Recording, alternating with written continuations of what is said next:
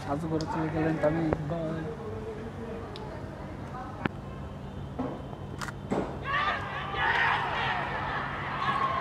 একদম।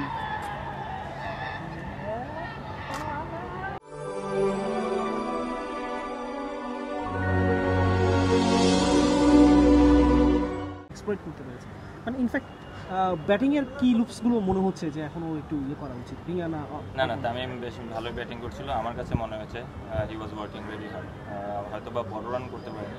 বাট ওর ব্যাটিংয়ের ছন্দ দেখে মনে হচ্ছে যে না ও খুব ভালো ব্যাটিং করছে এবং আপনারা সবাই জানেন গত কয়েক মাস ধরে ও অনেক কষ্ট করছে ফিটনেস নিয়ে এবং অ্যাজ ওয়েল ব্যাটিং নিয়ে। তাই hope he is there probably ইনশাল্লাহ হি উইল গেট সুন ওকে পরের তিন দিন বেশ ভালোই ফাইট করার চেষ্টা করেছে বাট আমার মনে হয় দুই টিমই খুব ভালো খেলা। মানে এখানে খুব আমাদের পারফরমেন্সটা খুব বেশি ইম্পর্টেন্ট হচ্ছে না চার দিন যে ম্যাচটা খেলছে টেম্পারমেন্টটা ন্যাশনাল টিম মানে টেস্টের কথা মাথায় রেখে।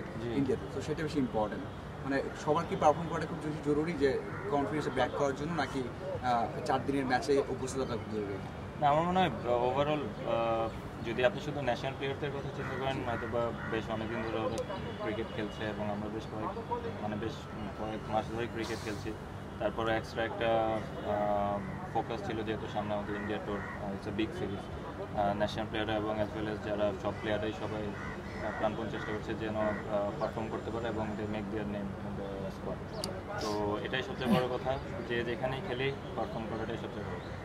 আপনি যেভাবে চেয়েছিলেন সেভাবে কি শুরু করতে পেরেছেন ন্যাশনাল লিগটা যদি তিন অঙ্ক ছুতে পারতাম তাহলে আর একটু ভালো লাগতো। আমার মনে হয় আমি চেষ্টা করছিলাম কারণ পিচ সেকেন্ড ডে তো ইভেন ইভেন থার্ড ডে তো ওরকম কিছু অ্যাডভান্টেজ বলারদের জন্য ছিল। অ্যাজ ওয়েল এস স্পিনার এবং অ্যাজ ওয়েল এস ফাস্ট বোলারদের জন্য। আর ব্যাটসম্যানরা সবাই ট্রাই করছিল আমিও ট্রাই করছিলাম। কারণ আমার মনে হয় যখন আমি প্রথম দুই রান মনে করেছিলাম অ্যারাউন্ড থার্টি থার্টি ফাইভ বলস বা অ্যারাউন্ড মনে হয় ফোর্টি বলসের মতো আমি খেলেছিলাম। তো আওয়াজ আওয়াজ ট্রাইং টু সার্ভাইভ এবং পরে যেন আমি আমার অপরচুনিটিগুলো ক্যাশ করতে পারি ওটাই চেষ্টা করছিলাম। তারপর দুই হাজার উনিশ চার বছর পর আসলে এবার তো অনেক আলোচনা নিয়ে জাতীয় লোক শুরু শুরু জি জি। মানে ডিফারেন্সটা কি মনে হচ্ছে আপনার না, মাঝের সময়টাতে হয়তো ন্যাশনাল টিমেরও অনেক খেলা ছিল। তো সবাই হয়তো বা অন্যান্য লিগ বা অন্যান্য খেলা নিয়েও অনেক বিজি ছিল। তো এরকম না যে আমাদের অ্যাভেলেবেল টাইম ছিল না, ছিল বা আমরা খেলি না এরকম না। জিনিসটা হচ্ছে যে.